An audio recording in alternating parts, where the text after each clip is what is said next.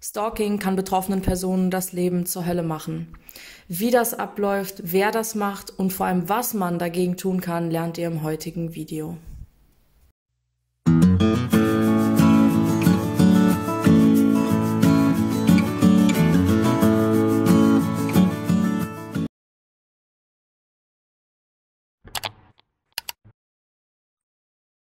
Hallo meine lieben Menschen und herzlich willkommen wieder hier bei Hilfe für Opfer von Narzissten. Mein Name ist Arti und heute gibt's mal wieder ein neues Video für euch. Vorab eine kurze Information, weil ich immer wieder gefragt werde äh, von wegen Corona-Coachings, wie läuft das? Finden die überhaupt noch statt? Oder ja, wie machen wir das jetzt?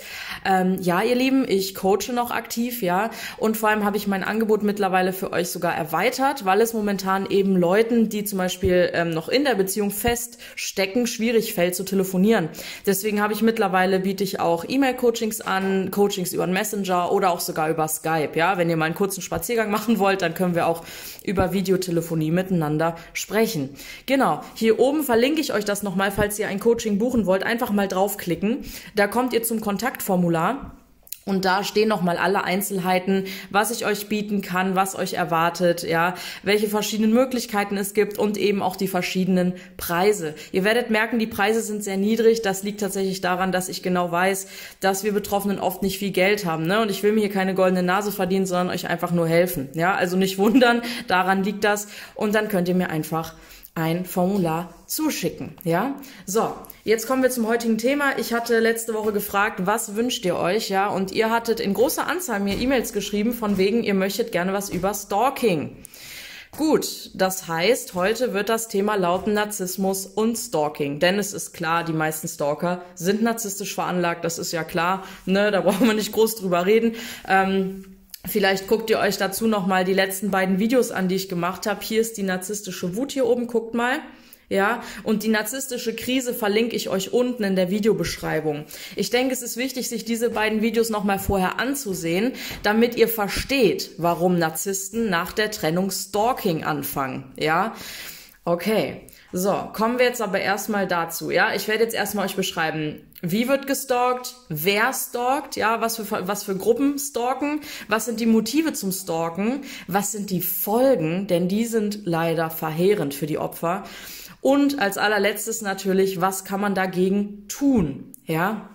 Und hier habe ich auch äh, mich äh, nochmal beraten, tatsächlich mit Institutionen wie dem äh, Weißen Ring und so. Ja, ähm, ich habe auch Polizisten im Freundeskreis und so. Ja, da habe ich überall nochmal nachgehört, äh, beziehungsweise auch nachgelesen, was man da wirklich tun kann. Das heißt, am Ende gibt's dann wirklich gute Tipps für die von euch, die drunter leiden.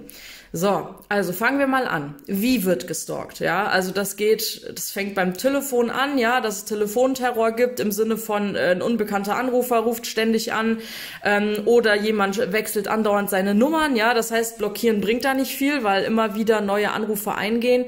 Ähm, das gleiche gilt natürlich für WhatsApp, SMS, E-Mails, ja, es ist ja heutzutage total einfach. Äh, sich äh, eine Fake-E-Mail zu machen im Endeffekt. Und das machen die dann natürlich auch. Narzissten und Stalker sind ja, mein Mäuschen, sorry, das war der Jora.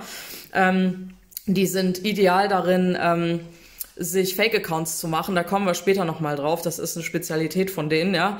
Äh, auch im Internet bei Cyberstalking. Da ist schon der nächste Punkt Cyberstalking natürlich, ja. Das heißt bei Facebook, YouTube, WhatsApp, Instagram, Twitter. Du wirst überall gestalkt, wo du einen Account hast. Okay. Ja, dann über E-Mails hatten wir schon. Ähm, dann gibt es aber auch den Stalker, der Geschenke schickt. Ja, und das verwechseln dann viele und sagen, hey, aber der liebt mich doch, deswegen schickt er mir Geschenke. Nein, auch Geschenke schicken kann Stalking sein. Ich hatte schon mehrere Klientinnen, ähm, die wirklich äh, den reinsten Psychoterror hatten und Angst hatten in ihrer eigenen Wohnung, weil sie wussten, dass derjenige immer zu gewissen Tagen Geschenke vor die Tür legt. Ne? Also nicht verwechseln hier. Geschenke hat nichts mit Liebe zu tun. Wenn jemandem sagst, du willst keinen Kontakt und der legt dir trotzdem Geschenke vor die Tür, na dann gute Nacht, ja.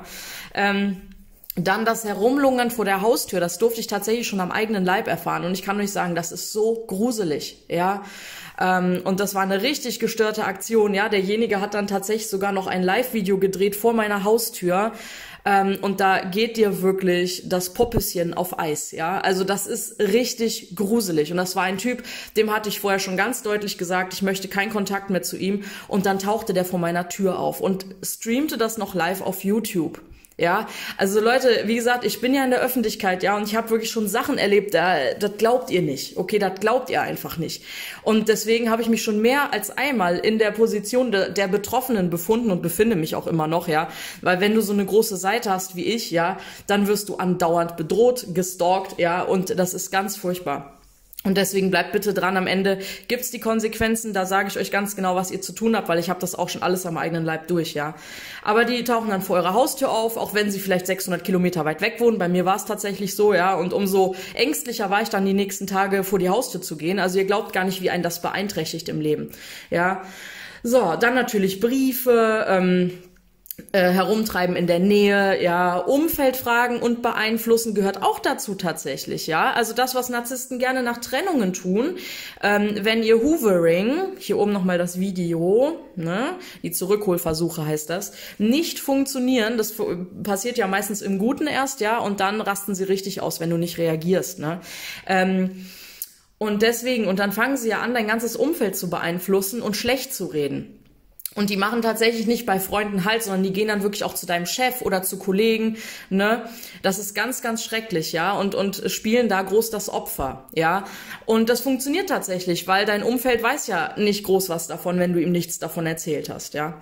So, gut, aber das ist jetzt erstmal das Wie. Da gibt es natürlich noch tausend unterschiedliche Sachen, wie Verfolgen, ähm, im Auto, unterwegs, ja, also da könnten wir jetzt ewig drüber reden, aber jetzt mal ein paar Beispiele, wie das Wie aussehen kann. Okay.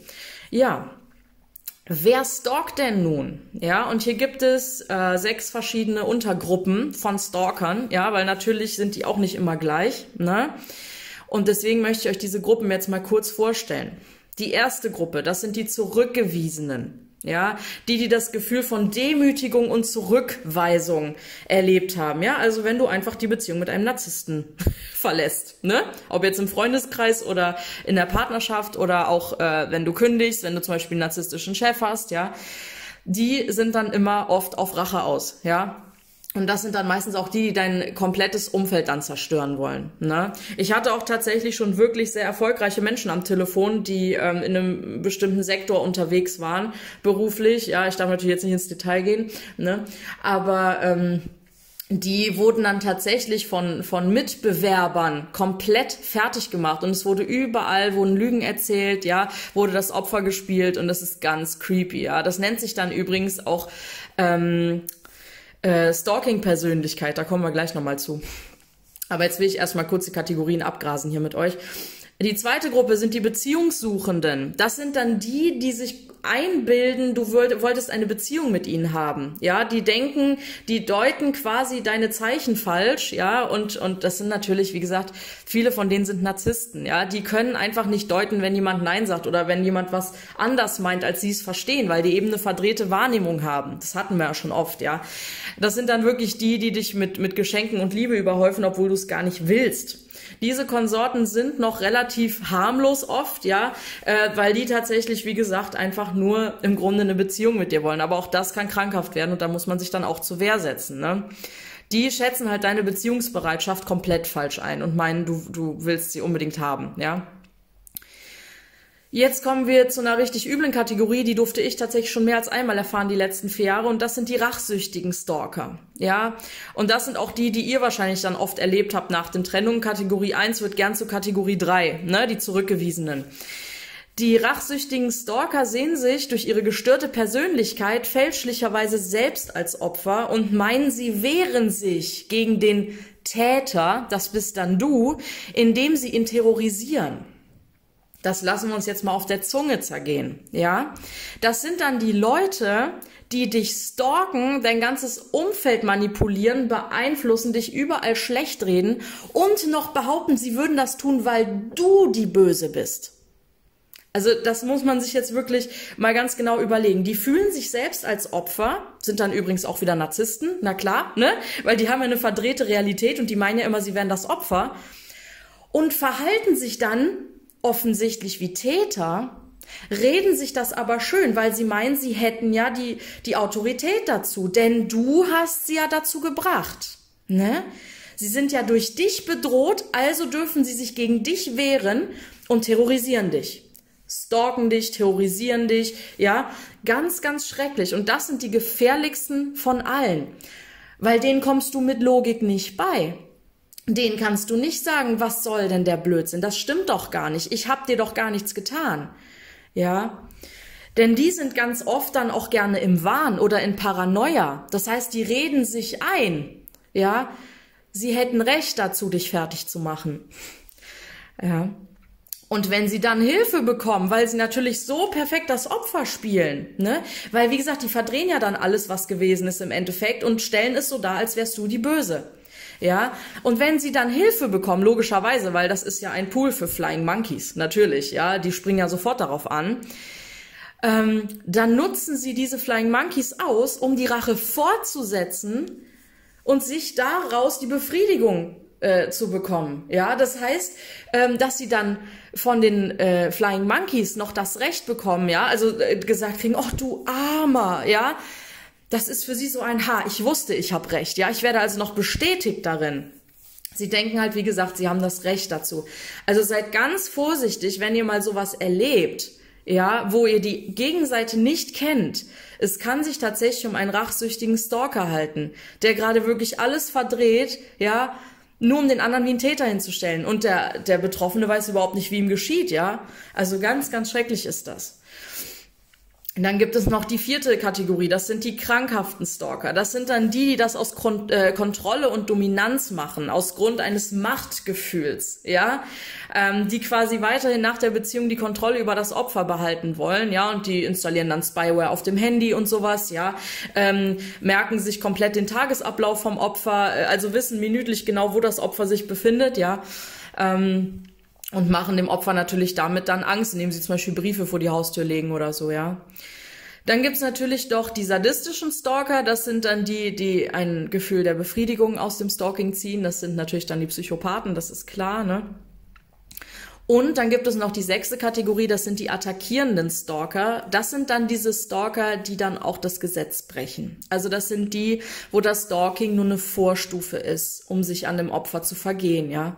Also die, die Frauen irgendwo auf der Straße aussuchen, sie dann, ja, ihnen dann lang genug nachstellen, um zu wissen, wo sie sind und dann, ja, ihr wisst, was ich meine, ja.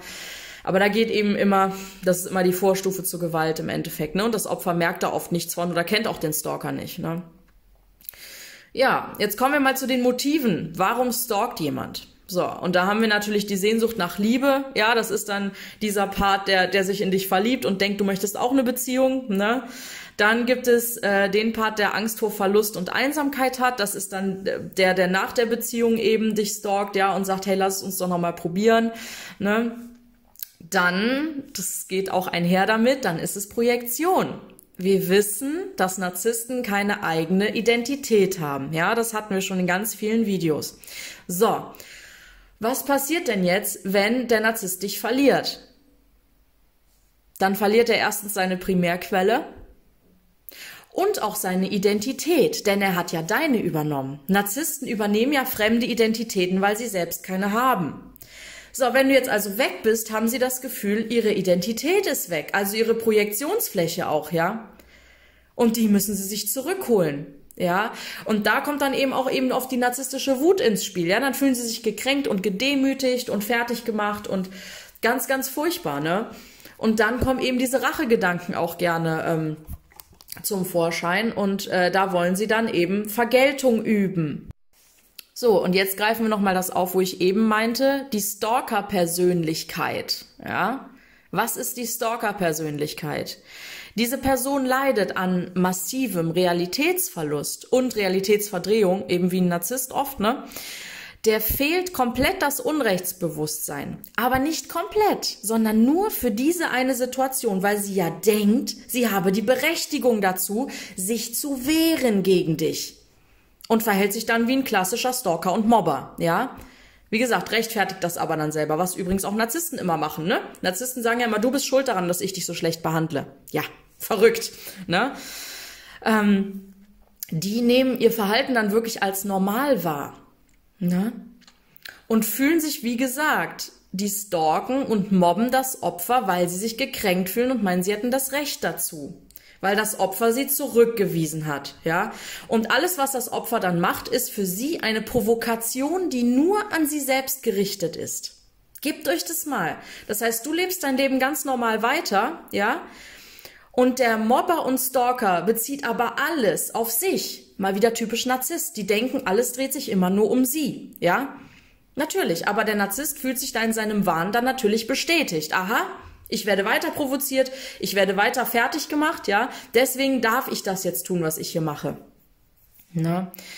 Ja, und das rechtfertigt eben dann sein Verhalten für den Psychoterror, den er uns dann antut. Ja, und wie gesagt, das durfte ich schon mehr als einmal erleben. Punkt. ja. Und das sind, wie gesagt, oft narzisstische Persönlichkeiten, die nach außen hin sehr selbstbewusst wirken, ja, aber im Inneren natürlich ein kleines verkümmertes Kind sind. Ja, natürlich, weil die leben ja in ihrem erhöhten Bewusstsein, ja, wo sie immer meinen, sie wären die Besten.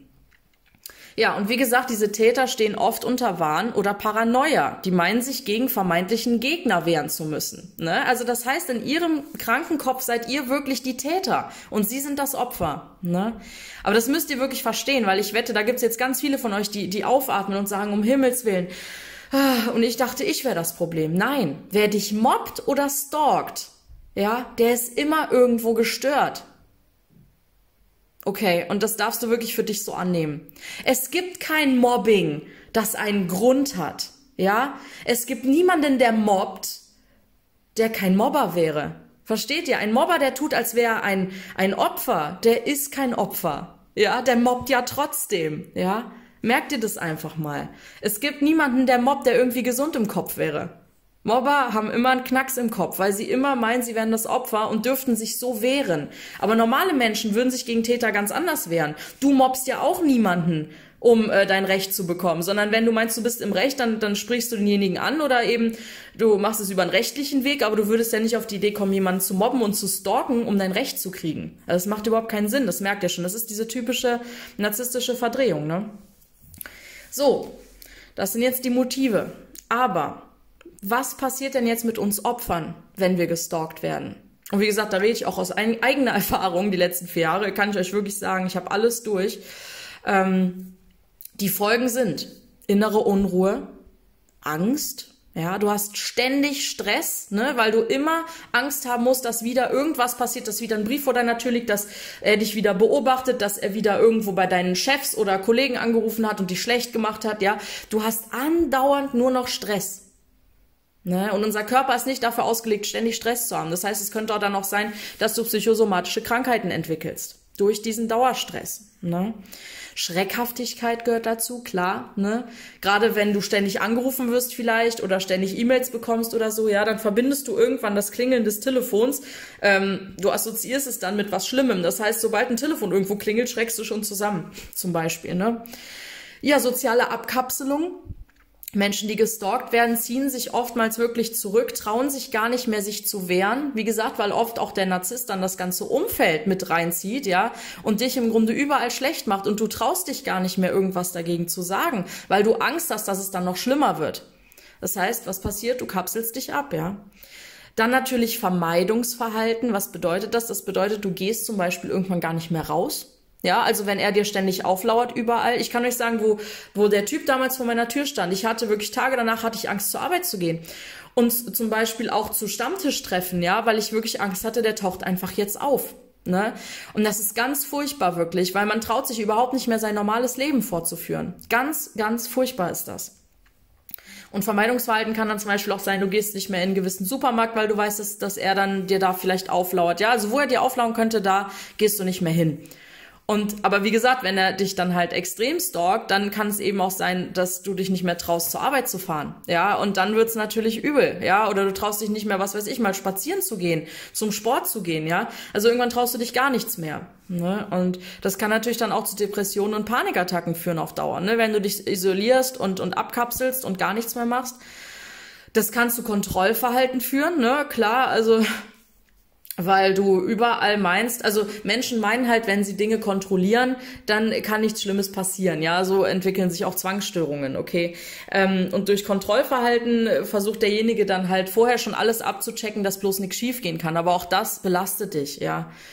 Ja, dann natürlich die ständige Angst, beobachtet und verfolgt zu werden, logisch. Ne? Ich habe mir wirklich irgendwann Pfefferspray gekauft, weil ich mir dachte, okay, wenn der mir jetzt wirklich auflauert, dann, ne?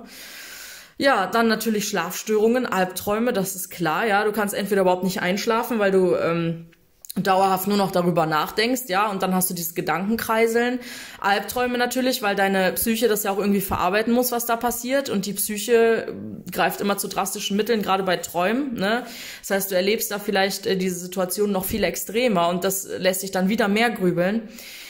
Ja, die Folge davon sind natürlich Erschöpfungszustände bis zum Burnout, ja, weil wie gesagt, wenn du andauernd angespannt bist, immer auf, auf äh, ähm, ne, halb acht, immer gucken, oh Gott, wo kann ich jetzt noch hin, was kann ich jetzt machen, äh, werde ich schon wieder beobachtet, ähm, dann kriegst du irgendwann Erschöpfungszustände, das ist ganz klar. Das führt dann natürlich auch zu Konzentrationsproblemen, soweit dass Leute sogar arbeitsunfähig werden. Ne, gerade wenn sie vielleicht auch im Beruf gestalkt werden auch, ja, dann trauen sie sich irgendwann gar nicht mehr ihre Arbeit zu machen, weil sie sich ständig beobachtet fühlen und wissen, dass da jetzt schon wieder irgendwas im Hintergrund läuft. Ja, sogar eine PTBS kann sich daraus entwickeln, eine posttraumatische Belastungsstörung. Also daran merkt ihr mal, wie krass das sein kann. Ja, also Stalking ist kein Kavaliersdelikt. Ich sag's nochmal, das ist nichts, wo sich Leute anstellen würden, ja, oder ähm, also ich hatte, wie gesagt, und ich habe auch meine Stalker. Ich weiß, dass ich meine Stalker auch habe, auch zum Beispiel hier bei YouTube, ja.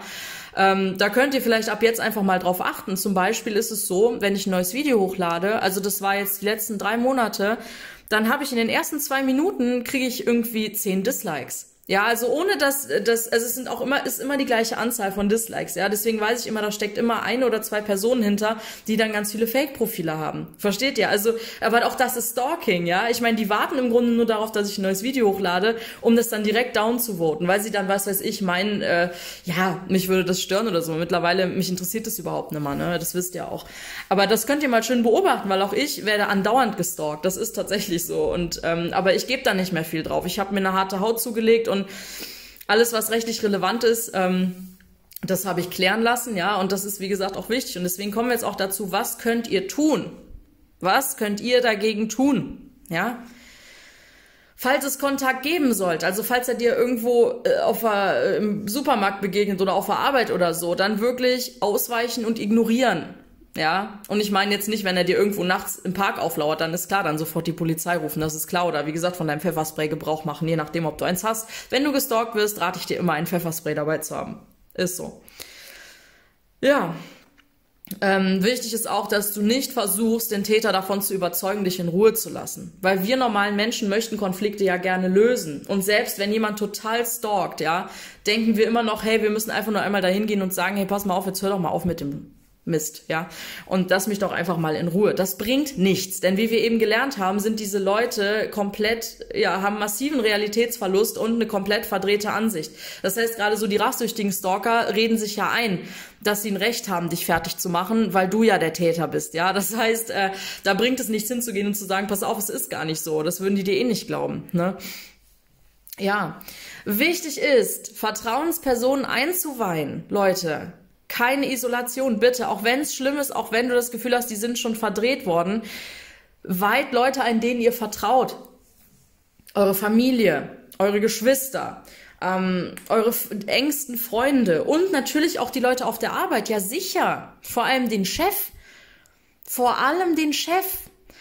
Weil ich habe tatsächlich schon Stalker erlebt, die haben bei Personen auf der Arbeit angerufen, um die schlecht zu machen oder haben riesige E-Mails geschrieben mit Lügen und die dahin geschickt. Stalker schrecken vor nichts zurück und Stalker haben auch ein ewig langes Durchhaltevermögen. Die hören nicht auf. Ja, und die hören auch nicht auf, dich zu denunzieren, weil sie ja meinen, sie haben Recht, ne? Das heißt, bitte weiht die Leute ein und auch euren Chef, wenn es nötig ist, damit die euch nicht mehr bedrohen können, damit die euch nicht mehr ähm, nee, damit sie euch nicht mehr, doch, bedrohen können. Ja, weil ihr habt ja ständig Angst, dass er wieder auf der Arbeit anruft oder dem Chef was schreibt oder so. Ja, habe ich, wie gesagt, alles schon erlebt. Ja. Also bitte weit die Leute ein. Weit sie ein, dass ihr gestalkt werdet. Okay. Wenn ihr übers Telefon oft gestalkt werdet, dann kann ich euch zwei Dinge empfehlen. Entweder legt euch eine neue Nummer zu. Ja, aber das bringt nur bedingt oft was, weil der Stalker die neue Nummer auch rausfindet. Oder ihr besorgt euch ein zweites Handy. Das bedeutet, ihr lasst die alte Nummer offen, besorgt euch ein neues Handy mit einer neuen Nummer im neuen Vertrag, benutzt nur noch das zweite Handy. Und das alte Handy lasst ihr weiterlaufen zur Beweisführung. Denn er wird weiter natürlich dann alles auf dieses Handy schicken. Logischerweise, weil er ja nicht weiß, du hast ein zweites Handy. Und dann kannst du wirklich Beweise sichern und zur Polizei gehen. Eine andere Option für, ein, ähm, für einen Festnetzanschluss wäre eine Fangschaltung dir einzurichten. Da kannst du mal googeln, ja, was ist das? Im Grunde kann man dadurch ähm, unbekannte Nummern tracken. Ja, auch für die Polizei ganz wichtig. Also überleg dir, ob du eine Fangschaltung einrichten willst für dein Telefon. So, und ganz wichtig ist natürlich eine Anzeige zu stellen. Eine Anzeige zu stellen ist mega wichtig und da habe ich mich lang vorgedrückt, muss ich wirklich sagen, weil ich so ein Mensch bin, der hat Angst vor allem und jedem, ja. Ähm, aber mittlerweile weiß ich ganz genau, ohne Anzeige geht es nicht. Ohne Rechtsanwalt, ohne Polizei geht nichts.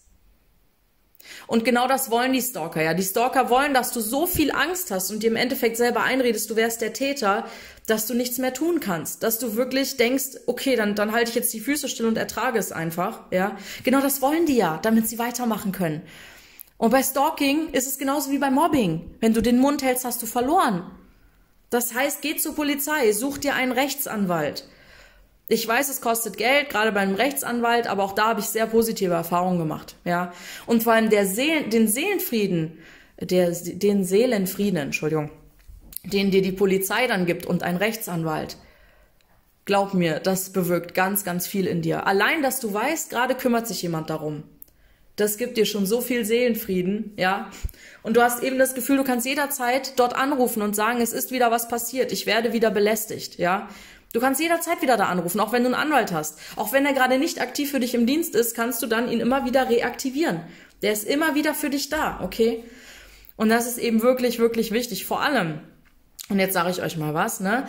Es gibt ja das Stalking-Gesetz seit 2007 schon. Aber alle Leute, die schon gestalkt wurden, wissen, dass da bisher nur was bei Bedrohung gemacht wurden, bei Hausfriedensbruch, bei Einbruch, bei Körperverletzung und bei Beleidigung, naja, nicht wirklich schnell, ja. Aber 2016 wurde dieses Gesetz jetzt überarbeitet, erneuert, ja. Und jetzt ist es tatsächlich schon strafbar, wenn jemand dir so heftig nachstellt, dass dein Leben schwerwiegend dadurch beeinträchtigt wird, ja. Und das ist bei den meisten Leuten, die gestalkt werden, so. Und sei es auch nur im Internet. Das reicht schon, ja. Von daher bitte, geht zur Polizei, sucht euch einen guten Anwalt und lasst die regeln. Das funktioniert, ja. So, was haben wir noch? So, dann ist es wichtig, ein Stalking-Tagebuch zu führen. Was ist ein Stalking-Tagebuch? Das ist ein Tagebuch, wo du jedes Mal reinschreibst, wenn wieder was passiert ist. Also entweder wenn du eine E-Mail gekriegt hast, eine Drohung oder wenn, was weiß ich, dir jemand aufgelauert ist vor der Haustür, wenn dich jemand verfolgt hat, ja. Und natürlich ist es gerade bei Cyberstalking, das ist, wenn alles online läuft und ja, das gibt es auch, da könnte ich euch Geschichten erzählen, ähm, dann ist es wichtig, immer alle Beweise zu sichern, immer. Beweise sichern ist das A und O. Ja, also immer Screenshots machen, runterladen, sichern, Polizei schicken, immer. Ja. Und das Stalking-Tagebuch ist eher nochmal für dich da, um zu sehen, wie oft stalkt er dich. Und auch damit kannst du dann wieder zur Polizei gehen und sagen, hier dreimal die Woche, viermal die Woche, einmal im Monat. Ja, es ist für die alles wichtig. Du hilfst denen dabei ähm, bei den Ermittlungen. Ne? Das ist echt wichtig. So, dann ist es wichtig, dass du Briefe und Werbung nicht einfach mehr so im Hausmüll entsorgst. Denn auch bei äh, solchen äh, Werbungen und so, ja, da steht ja immer deine Adresse mit drauf und manchmal auch deine Telefonnummer. Also bitte, bevor du irgendwas wegwirfst, auch wenn es einfach nur Werbung ist, ja, oder Briefe, wie gesagt, ja, bitte ganz immer, also das, das lernt man auch äh, in der Ausbildung, äh, spätestens wenn du so ein ähm, kaufmännischen Beruf lernst, ich habe ja einen kaufmännischen Beruf gelernt, ähm, du musst immer deine Post richtig vernichten. Ja, also das heißt, du musst die ganz oft durchreißen, so oft, bis man wirklich nichts mehr erkennen kann. Und das gilt natürlich auch bei Stalkern, logischerweise. Ja, das heißt, äh, bitte immer Briefe und Werbung nicht einfach mehr in den Hausmüll, sondern wirklich so bis zur Unkenntlichkeit zerreißen, vor allem wenn dein Name drauf steht. Ne? Ja, wie gesagt, dann mit dem Rechtsanwalt auch mal klären, ob man eine einstweilige Verfügung machen kann. Ja, bei Stalking äh, ist es gang und gäbe. Ja, es kostet natürlich ein bisschen was, aber auch da kann man Hilfe beantragen. Also ist es eigentlich auch möglich. So, jetzt gucke ich mal, haben wir noch alles? Äh, haben wir schon alles? Ja, genau. Das waren jetzt so die Maßnahmen, die du tun kannst oder auch die Maßnahmen, die du nicht tun solltest, ja. Und ja, das waren erstmal so meine Tipps für heute. Ich würde mich freuen, äh, wenn ihr euch in der Community darüber austauscht. Was habt ihr erlebt? Was habt ihr an Stalking, an Mobbing erlebt? Ja, ähm, wie ist das ausgegangen? Was habt ihr dagegen gemacht? Hat es was gebracht? Ja, weil ich meine, wir sind ja in einer Community. Ich weiß, ich mache die Videos, aber ich sehe uns schon immer als große Community, die sich gegenseitig hilft und unterstützt. Deswegen schreibt doch einfach mal in die Kommentare, wie habt ihr es erlebt? Was ist passiert? Ja, und wann hat die Polizei eingegriffen? Äh, und hat es was gebracht. Ja, weil ich habe schon bei ganz vielen Leuten erlebt, dass es sehr viel gebracht hat und auch bei mir hat es sehr viel gebracht. Also von daher, ich kann es wirklich nur unterschreiben, sucht euch einen Anwalt, geht zur Polizei, lasst euch das nicht bieten und sucht euch auch vor allem psychologische Hilfe. Ähm, wenn es wirklich Spätfolgen hat und das werdet ihr merken, ja, wenn ihr zum Beispiel eine Depression abrutscht oder ein Vermeidungsverhalten, eine Erschöpfungs äh, Sache, ja. Also da kann wirklich ein Psychologe helfen, ja. Vor allem, wenn ihr eben so einen rachsüchtigen Stalker habt, der euch ständig einredet, ihr werdet ein Täter und dass ihr es verdient. Wie lustig, gerade Polizeisirenen hier im Hintergrund, ja, passt ja. Nein, ähm, aber das kann wirklich helfen, wenn dir auch noch mal jemand Außenstehender sagt, du bist kein Täter, du hast nichts falsch gemacht. Ja, das ist seine verdrehte Persönlichkeit, die das so wahrnimmt, dass du böse bist, aber du bist es nicht. Ja, also das kann auch nochmal wirklich helfen und auch da nochmal Methoden zu lernen. Das könnt ihr natürlich auch bei einem Heilpraktiker oder bei einem Coach, ne? Aber Heilpraktiker und Coach natürlich nur, äh, wenn es jetzt nichts Akutes ist, sag ich mal, ne? Ja, und es gibt natürlich auch so äh, Mobbing-Präventivstationen und so. Ähm, da könnt ihr euch dann auch melden, Weißer Ring zum Beispiel, ne? Und ja, meine Lieben, das war ein sehr ernstes Thema heute. Ähm, wir sehen uns diesen Sonntag, äh, Samstag nicht auf Instagram, ja, weil ich merke, äh, ihr wisst ja, ich habe echt viele Coachings momentan und ähm, ich komme echt nicht mehr dazu, groß eure Fragen zu beantworten. Das heißt, wir werden das jetzt zweitwöchentlich machen, also nur noch alle zwei Wochen samstags bei Instagram, ähm, weil ich echt, ich habe die Zeit nicht mehr, es tut mir leid. Ne? Ähm, das heißt, diese Woche ist keine Fragerunde bei Instagram, nächste Woche dann wieder Ihr könnt uns ja einfach abonnieren bei Instagram, heißen wir Narzissmushilfe und da werde ich es dann ankündigen, wenn es dann wieder soweit ist. Ihr wisst ja, ich beantworte da immer eure Fragen kostenlos, ne, zu Narzissmus, aber wie gesagt, diese Woche leider nicht, weil mir echt die Zeit fehlt, es tut mir leid. Ja, ihr Lieben, bei allen anderen Anfragen, die ihr an mich habt, auch Coaching oder einfach so Fragen, äh, einfach hier, schaut mal, ich habe die E-Mail-Adresse hier nochmal angezeigt. Könnt ihr euch gerne jederzeit bei mir melden. Kann natürlich immer ein bisschen dauern, bis ich antworte, das ist klar. Ich kriege ziemlich viele E-Mails äh, am Tag und deswegen arbeite ich die chronologisch ab.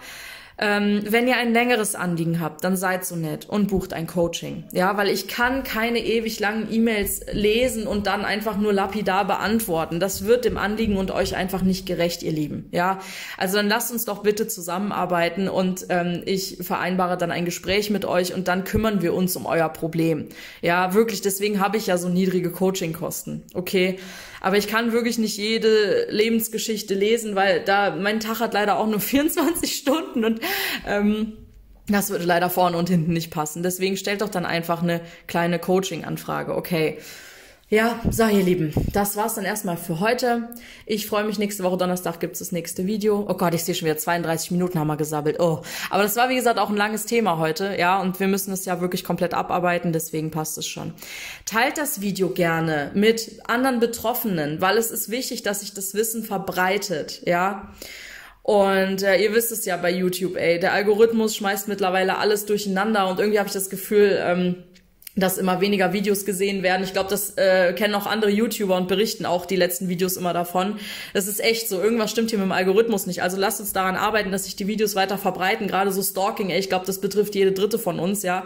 Also bitte Video verbreiten, an andere Leute schicken, ähm, teilen, teilen, teilen, ja. Weil ich mache mir hier natürlich jedes Mal wieder enorm Arbeit für euch und äh, es soll den Leuten ja auch helfen. Dafür mache ich das alles hier, gell. So, ihr Lieben. Genug geschnabbelt für heute. Ich hoffe, ich konnte euch ein bisschen weiterhelfen und wir sehen uns nächsten Donnerstag wieder. Macht's gut.